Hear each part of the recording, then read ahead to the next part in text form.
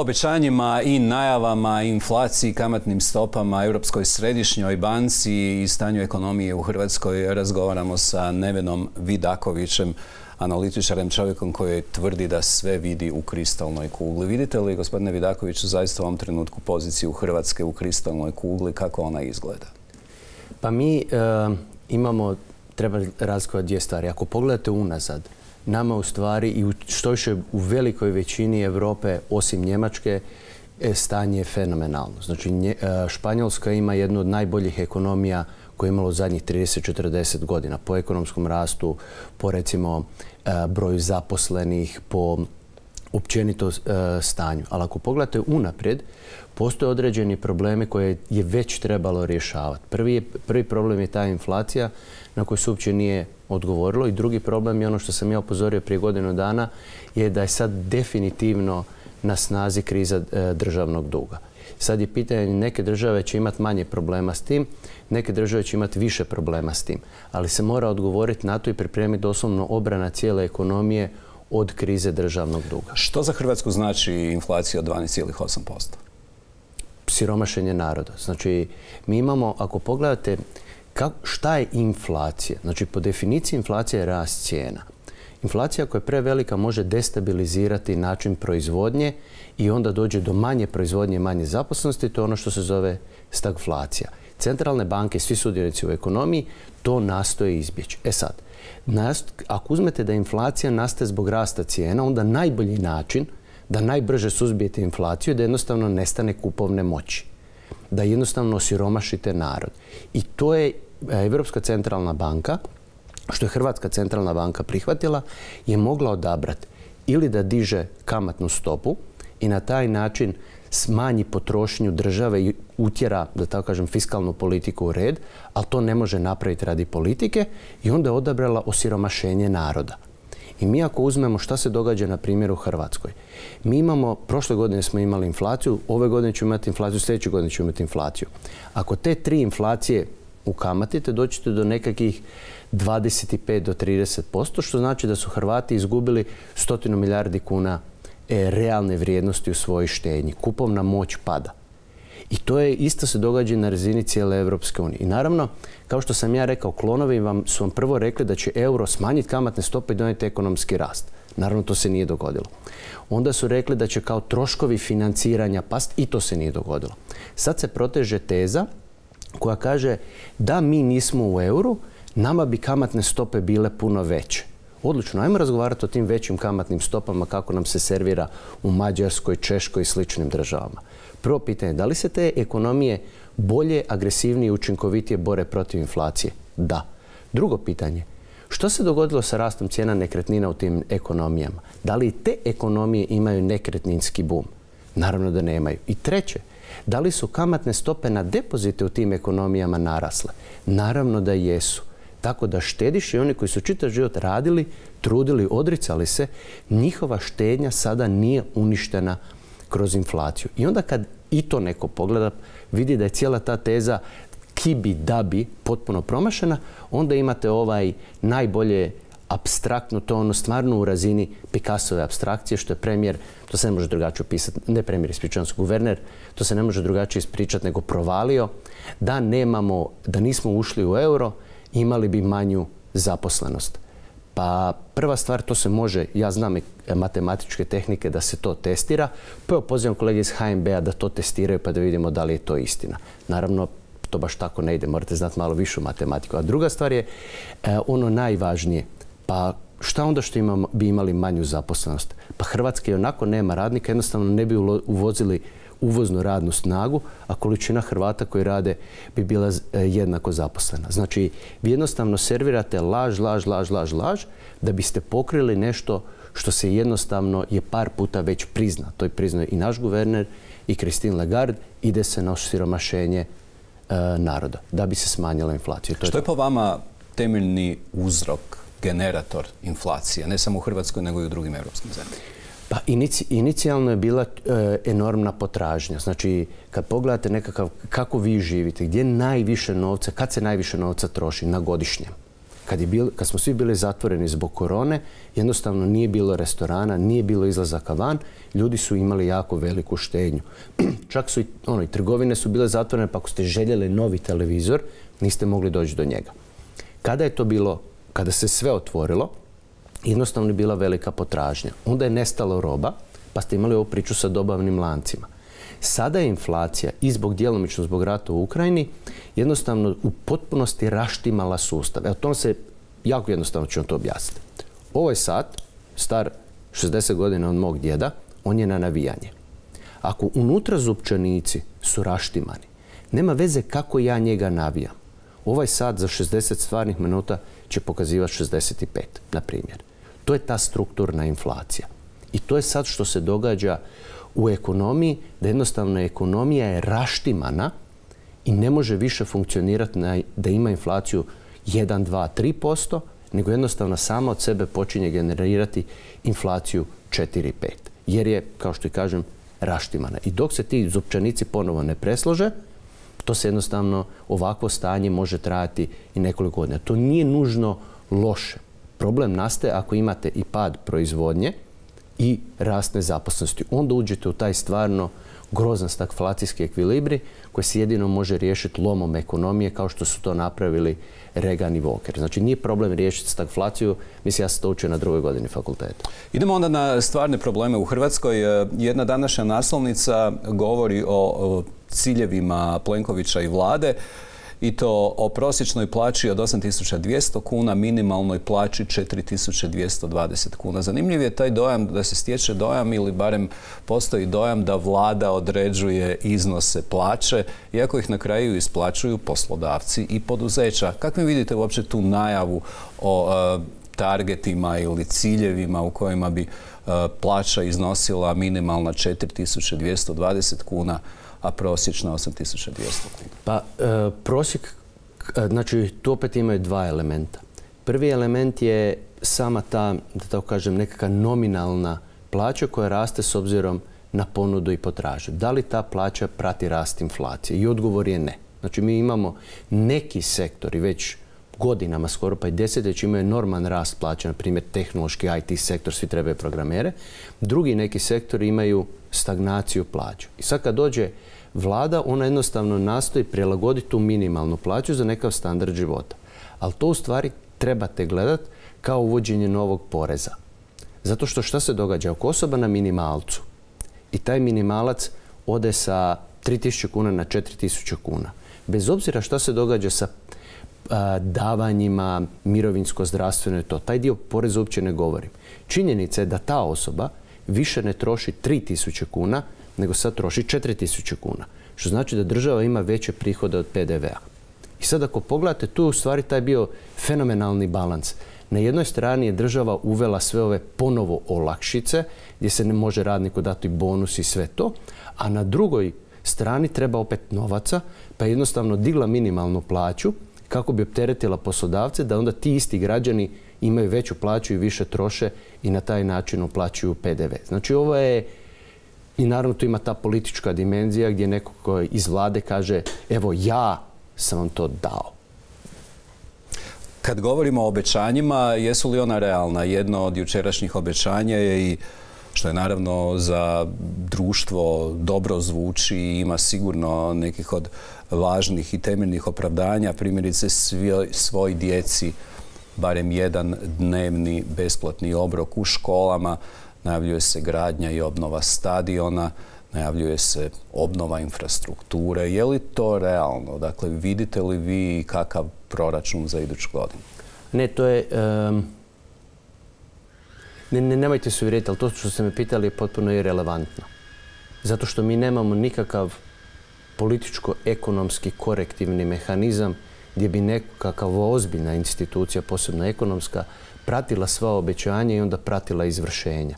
Znači, ako se sjećate svoje vremeno, mislim da je to negdje bilo u dnevnim novinama, neko je napravio analizu, možda za vladu, nemojte se hvatati, možda za vladu Jadranke Kosor, koliko nečeg je započelo se graditi, a koliko se stvarno i sagradilo. Znači to šta se obećava i upravo to politički trik da bi se neko što lajkalo na Twitteru.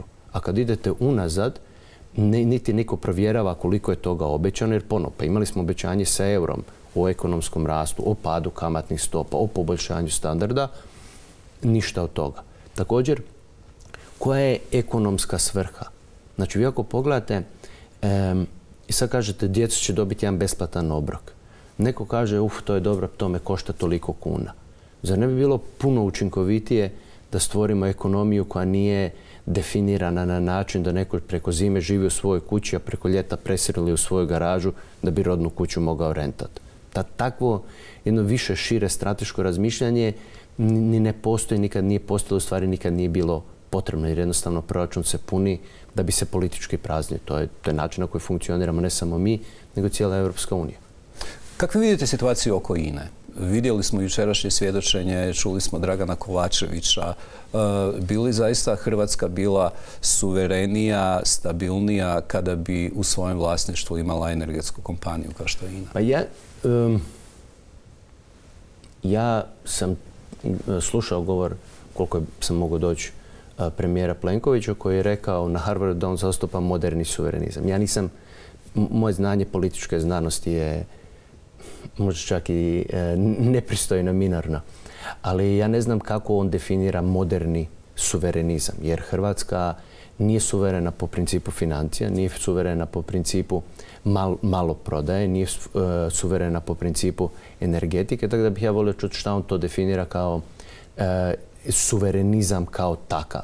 Ovo što se tiče INE, recimo što smo sad čuli da je to bilo u zatvaranje Sisačke rafinerije bilo uvjetovano za Schengen, to je, to način, mi, mi to promatramo isključivo iz svoje male 3,8 milijuna 3,8 milijuna ljudi perspektive. Ali to je način na koji cijela Europska unija funkcionira. Znači cijela Europska unija funkcionira na način da, se, da imate kastu političara koji međusobno mijenjaju mjesta i politički trguju na uštrb naroda. Znači ovo kad sam ja sad vidio kod vas, ja sam to, prvi puta čuo, ali to mene uopće ne iznenađuje. Ista stvar je s ovim, ste primijetili kako više niko ne spominje ovaj nacionalni plan oporavka i otpornosti. Jer ako se sjećate, bila je ona priča da će nam on donijeti ogromne stope rasta i zaposlenosti. Sad je taj plan stavljen u stranu, zaboravljen, pojela ga je inflacija, ali zar u tom planu oporavka i otpornosti ne bi bilo logično da neko stvarno napravi otpornu energiju, otpornu ekonomiju putem energije? Odgovor je naravno da ne. Zato što je taj plan preljevanje šupljeg u prazno. Nama veliki daju novac, a onda mi taj, tim velikima vratimo novac tako da njihove firme grade sve infrastrukturne projekte i na taj način taj najviši ešelon Evropske unije jednostavno trguje. E sad, kako su oni zatvoreni unutar sebe, zaboravljaju da nisu centar svijeta i da ne funkcioniraju svi kao oni. A pojavio se potpuno, pojavila se potpuno nova vrsta predatora koja jednostavno vidi enormne financijske prilike iz takvog njihovog e, financiranja. Imali smo jednu pokaznu vježbu, sad ćemo uskoro imati drugu. Koje su to pokazne vježbe bile? Mislite li na Agrokor, E, na INU, e, na koje pokazne vježbe mislite i tko su to predatori? A ne, ne, ne, ne, ne, ne. Prvo ovo što ste rekli za e, Agrokor, to je bilo definirano kao lešinarski fondovi. Ne, ne, ne, ne.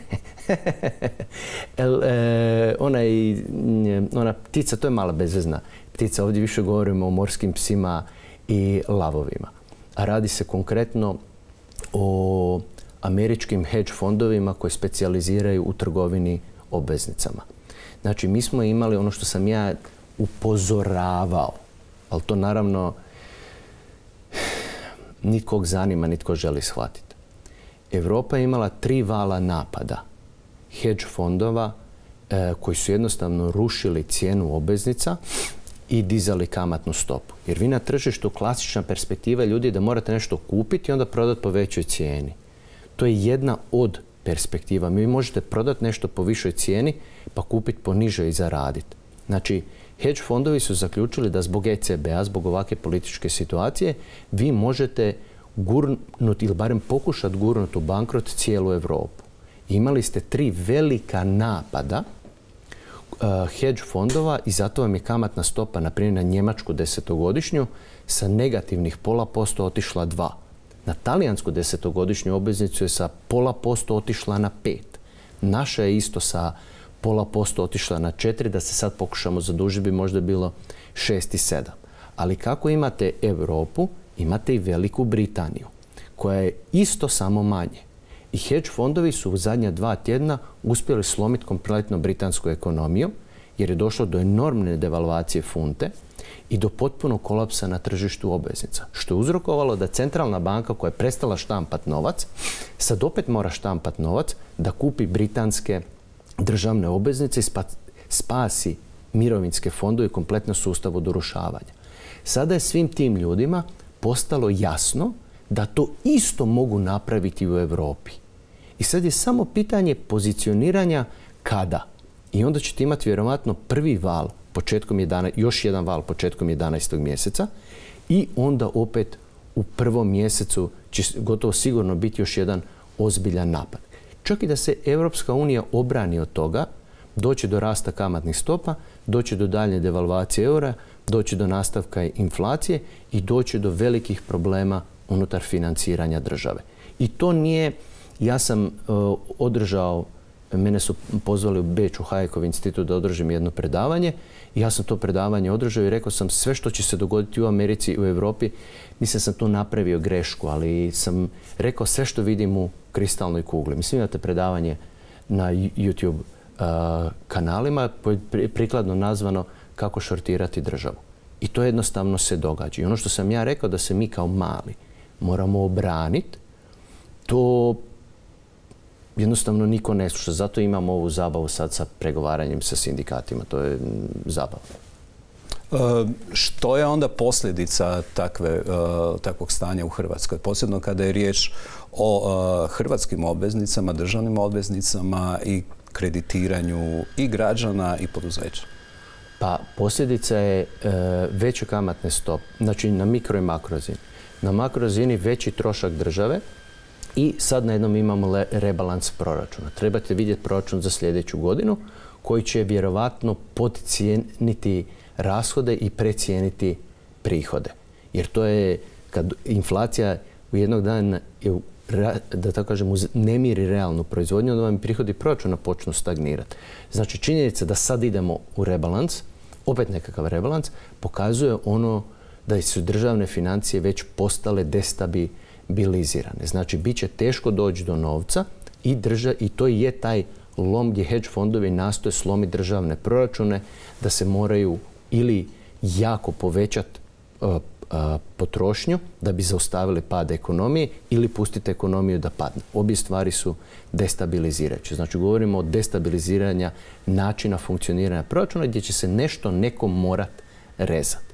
Druga strana je ova strana u privredi gdje jednostavno kamatne stope rastu, kreditni rizik raste, kreditiranje postaje otežano i onda naravno nema investicija nema radnih mjesta, osim ono što, da tako kažem, standardno prolazi, kao na primjer turizam. Svi ostali mali proizvođači to imaju tu e, problema. I to je ovo što već vidimo na mnogim, u mnogim europskim državama. Ista stvar je onda naravno nakon toga idu loši plasmani i problemi sa e, poslovanjem banaka. Znači to je standardni ekonomski ciklus, sad je samo pitanje da li nekakva pametna država može amplitudu i taj šok smanjiti. Na koji način? Što bi trebalo učiniti Hrvatska središnja pa banka? Prvo, prvo, moramo reći šta se dogodilo prošli puta. Znači, prošli puta ste isto imali političko natjecanje i natjecanje klonova ko će dati gluplju izjavu. Znači, ako se sjećate, recimo, 2009. imali ste ono, mi smo mali naše kriza za obić. Mi smo zadnji ušli u krizu, pa ćemo i zadnji izaći. Na kraju smo imali šest godina pada BDP-a. To je u normalnoj ekonomiji, kažem, kad nije recimo kao u Ukrajini ratna ekonomija, nezapamćeno. Znači, s tim ste dobili presjek intelektualnih kapaciteta hrvatske ekonomske znanosti i hrvatskih političara. Ne postoji niti jedan razlog da sljedeća kriza ne bude isto tako dugotrajna, isto tako bolna, poznavajući ljude koji se nas vode. Znači, to je to. Kako se to radi? Opet, ja sam ja znam da je, mnogim mojim kolegama teško mene pratiti, jer ja sam ipak završio po ovome ratingu fakultet koji je 23. na svijetu, oni su završili se učilište u Zagrebu koji je rangirano milijonto na svijetu. Ali idemo iz početka, vrlo jednostavno. Vi imate dva mehanizma ekonomske politike. Jedan je fiskalna politika koju provodi vlada. Drugi je monetarna politika koju provodi centralna banka. Unutar te monetarne politike mi sad gubimo monetarnu politiku, ona prelazi na Europsku uniju. Ali postoje mehanizmi kreditne politike. Znači vi možete određenom regulativom, da tako kažem, malo gurnut banke u određenom smjeru kreditiranja. To je ovo što je bilo prije možda godinu dana je bilo da je HNB povećao neke pondere u adekvatnosti kapitala za stambeno kreditiranje. To isto je mogu naprijed napraviti sa švicarskim frankom i to sve izbjeći. Znači, postoje mehanizmi gdje se banke gurne da kreditiraju određene segmente ekonomije da bi podržali ekonomiju. Na fiskalnoj strani imate mehanizme poreza i mehanizme državne potrošnje. To se mora reorganizirati sa ekonomskom, a ne političkom svrhom. Znači, mi kupujemo rafale. Zašto?